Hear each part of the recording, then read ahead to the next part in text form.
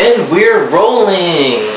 If you are watching this, then you have found my videos. I wanted to do this video as a general introduction to everything else, so they'll make sense. Basically, my name is Patrick Crossman. I'm from the far east coast of Canada, Prince Edward Island, Canada's smallest province. And I am now in a place called Donghae, South Korea, where I'm going to be teaching English. I arrived here on December 10th, 2007, and I have a contract going through until the end of February 2009. Teaching in Asia, teaching in Korea has been on my list for a few years now. I've traveled quite extensively, 30 some other countries on four other continents, but this is my first time to Asia. So far the people are great, the food is great, everything's great, really loving it. And I wanted to do videos instead of just the general, you know, typing and blogging. I wanted to do videos so people who are watching these videos, whether you're my friends, my family, or maybe some strangers that, that I have yet to meet.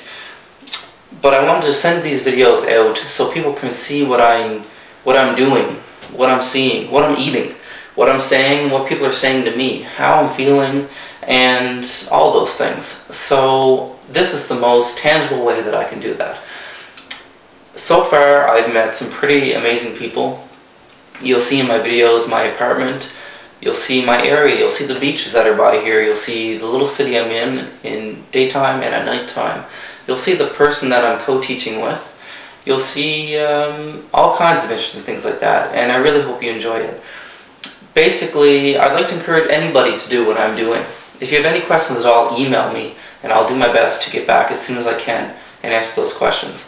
What I would recommend, if you would like to teach in Korea yourself, I, I strongly encourage ESL to, to contact the ESL Job Network, uh, iteachandtravel.com, that's iteachandtravel.com, and that's the people I went through to get here. They have treated me phenomenally. The specific recruiter, her name is Jen. If you would like her email, drop me a line I'll be sure to pass it on to you. Next, I am with the EPIK program, the English program in Korea, EPIK. and it's a government program. It's similar to the JET program in Japan, for those who know that.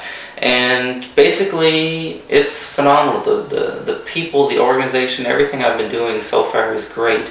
Mind you, I'm with the EPIK program in Gangwon province, and each province manages their own. So I've heard that Gangwon is the best taking care of their teachers.